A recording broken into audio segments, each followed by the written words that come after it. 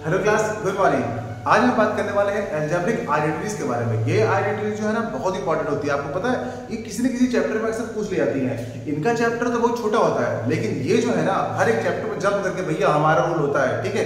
तो मतलब जाकर के अपना वहीं पे चली जाती हैं। कहती हैं, हमको सॉल्व करो, हमको सॉल्व करो। मतलब ये टिग्नोमेट्री से लेकर के आपके रियल नंबर तक आती है, समझ लीजिए। एट्थ क्लास से इनकी स्टार्टिंग होती है, और ये चलते चलते न जाने, बस आप शुरुआत कर दीजिए आप इनकी, फिर खत्म तो नहीं होती कभी ये, हमेशा आती रहती है। तो इनको आना बहुत ज़रूरी है। इनको नहीं, आपको आपको इन्हें पढ़ना पड़ेगा, ठीक है? चलिए, आज की वीडियो में हम सिर्फ़ और सिर्फ़ फॉर्मूलाज अच्छे से जो भी आइडेंटिटी है, उनको बताने वाले हैं। इन आइडेंटिटी की हेल्प से आप इस चैप्टर के सारे के सारे क्वेश्चन कर सकते हैं। पक्का? चलिए, शुरू करते हैं। जो पहली हमारी आइडेंटिटी होगी, एकदम नन्ही मुंदी से। क्या नाम है उसका भाई? A plus B whole square सभी बच्चों को पता होगा ये। A plus B whole square क्या होता है? A square plus B square plus two A B पहली आइडेंटिटी एकदम छोटी सी लंबी सी खत्म हो गई। ठीक है, चलिए दूसरी पे देखते हैं। दूसरी आइडेंटिटी क्या थी? A minus B whole square तो क्या होगा यहाँ पे? A square plus B square minus two A B ये जो ए बी लिखा रहता है ना, ये इंटू में होता है मतलब मल्टीप्लाई में, ठीक है? बहुत सारे बच्चे जब भी टेस्ट लेते हैं ना, यहाँ पर माइनस लगा ही देते हैं। भैया, यहाँ पे लगता है। यहाँ पर प्लस ही होता दोनों में। यहाँ पर लगेगा माइनस ठीक है? चलिए, तीसरी देखते हैं। तीसरी आइडेंटिटी होती है हमारी। अगर लिखा होता है हमारे पास A square minus B square तो क्या करते हैं इसको? इसको लिखते हैं हम लोग एक बार ए प्लस बी और सेकेंड ब्रैकेट में ए माइनस बी समझ गए? उसके बाद एक और छोटी सी लंबी सी प्रॉपर्टी होती है भाई, जिसको कहते हैं हम लोग x प्लस ए मतलब दोनों ब्रैकेट में अलग अलग चीज़ें हो, x प्लस बी मतलब x plus A x plus B दोनों में a और b अलग अलग है। तब क्या करते हैं? उसके लिए आपकी इक्वेशन बनेगी X square plus A plus B into X और प्लस का ए बी अगर ऐसा लिखा होगा तो आप ऐसा लिख देंगे। और ज़रूरी नहीं कि हमेशा इससे जाए। अगर ऐसा मिलेगा तो आप ऐसा भी लिख सकते हैं, ध्यान दीजिएगा, ठीक है? फिफ्थ करते हैं। फिफ्थ में क्या रहेगा भाई? देखिए जरा ये हुई ये हुई। अब छोटी सी नन्नी मुन्नी वाली खत्म हो गई। अब चलते हैं थोड़ा क्यूब में चलते हैं, ठीक है? तो क्या होगा? अगर लिखा रहेगा A plus B whole cube तो क्या करेंगे? इसे लिखेंगे A cube plus B cube plus three A B और ब्रैकेट में ए प्लस बी याद करा आपको? ठीक है, बढ़िया। अगली लिखते हैं। सिक्स वाली A minus B whole cube अगर प्लस वाला क्यूब रहा तो माइनस वाला भी तो होगा। तो देखिए, क्या लिखेंगे?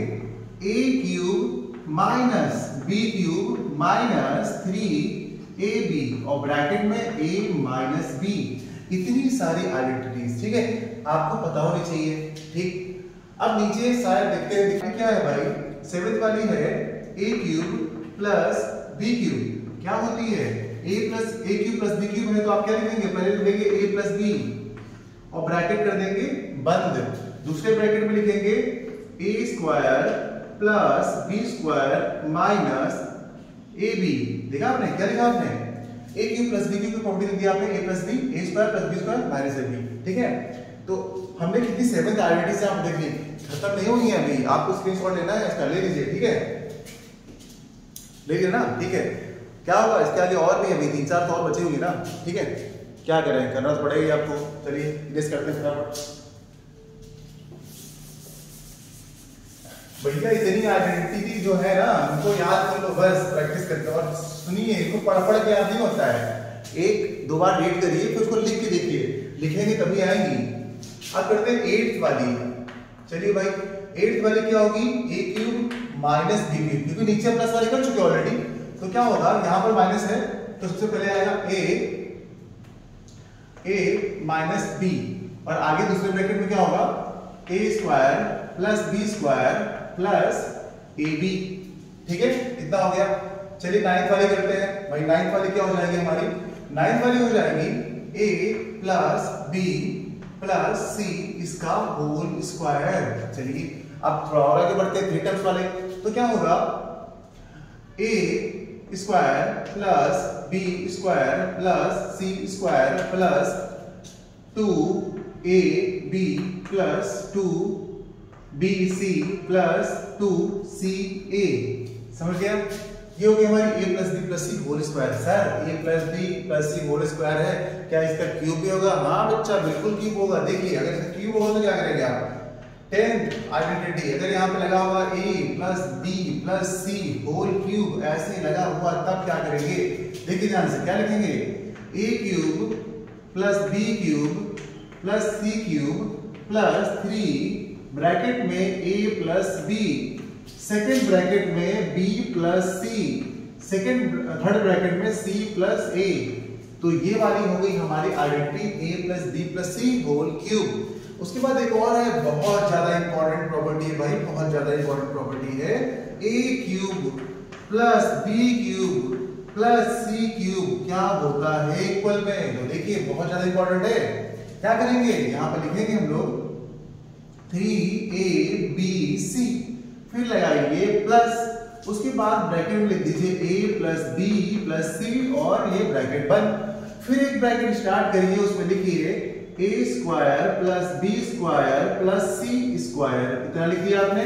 इतना लिखने के बाद अब लगाइए माइनस और लिखिए A B minus B C minus C A डब्बा बंद तो भैया, ये होगी हमारी आइडेंटिटी बड़े काम की चीज़ है, दो बार पढ़ोगे तुरंत फटाफट याद हो जाएगी, ठीक है? तो नाइन्थ वाली भी हो गई। इसको देखिए ध्यान से। जो हमारा बन जाएगा केस कॉस ट्वेल्थ वाला बन जाएगा, इसमें लिख देते हैं, वो क्वेश्चन जब भी आपको देंगे वो लिखेंगे if A plus B plus C is equal to zero then find value of A cube plus B cube plus C cube क्या होगा ऐसा? तो आप क्या करेंगे, देखिए, अगर A plus B plus C वाला ज़ीरो हो जाएगा तो आप क्या लिखेंगे? A cube plus B cube plus C cube is equal to आप लिखेंगे थ्री ए बी सी फिर आप लगाएँगे प्लस और ये वाला तो आपका a plus B plus C तो ज़ीरो दिया हुआ है। तो आप लिखेंगे ज़ीरो फिर मल्टीप्लाई लगाएँगे और ब्रैकेट करेंगे स्टार्ट और ब्रैकेट वाली पूरी चीज़ यहाँ कॉपी कर देंगे और ब्रैकेट कर देंगे बंद। फिर आप देखेंगे ज़ीरो तो मल्टीप्लाई में लगा हुआ है तो सबको क्या कर देगा? ज़ीरो कर देगा। अगर सबको ज़ीरो कर देगा तो बचेगा क्या भैया? बचेगा सिर्फ़ ये वाला पार्ट तो यहाँ से हम सिर्फ़ इरेज कर देंगे, क्योंकि तो पार्ट हमारा ऑटोमेटिक ज़ीरो हो जाएगा। अब देखिए A cube plus B cube plus C cube two three A B C मिल गया है। तो ऐसी कंडीशन में जब ऐसा कुछ मिल जाए तो आप क्या करेंगे भैया? तो आप करेंगे क्या? इनको पहले तो लर्न कर लेंगे। चैप्टर पढ़ने से पहले इतनी आइडेंटिटीज आनी आपको बहुत ज़रूरी है। अगर आप इतनी आइडेंटिटीज को अच्छी तरीके से पढ़ लेते हैं तो काफ़ी चैप्टर में इस तरह के जो क्वेश्चन दिए रहते हैं टेढ़े मेढ़े उन सबको आप सॉल्व कर पाएँगे बड़ी आसानी से। मतलब अगर क्वेश्चन पेपर आपको बनता है पचास नंबर का तो कम से कम पाँच दस नंबर आपके ऐसे ही फ्री गए तो क्यों भैया? क्यों नहीं पढ़ना है? पढ़ना है, ठीक है? तो चलिए पहले इनकी तैयारी करिए, फिर मिलते हैं अगले वीडियो में। इसी के बिहार पे जितने टाइप के क्वेश्चन होंगे, मैं सब टाइप के क्वेश्चन कराऊँगा, सारे क्वेश्चन नहीं, सब टाइप के क्वेश्चन ठीक है? तो बस वीडियो देखिएगा और तैयारी कर लीजिएगा। अगले वीडियो में मिलते हैं क्वेश्चन के साथ। Bye bye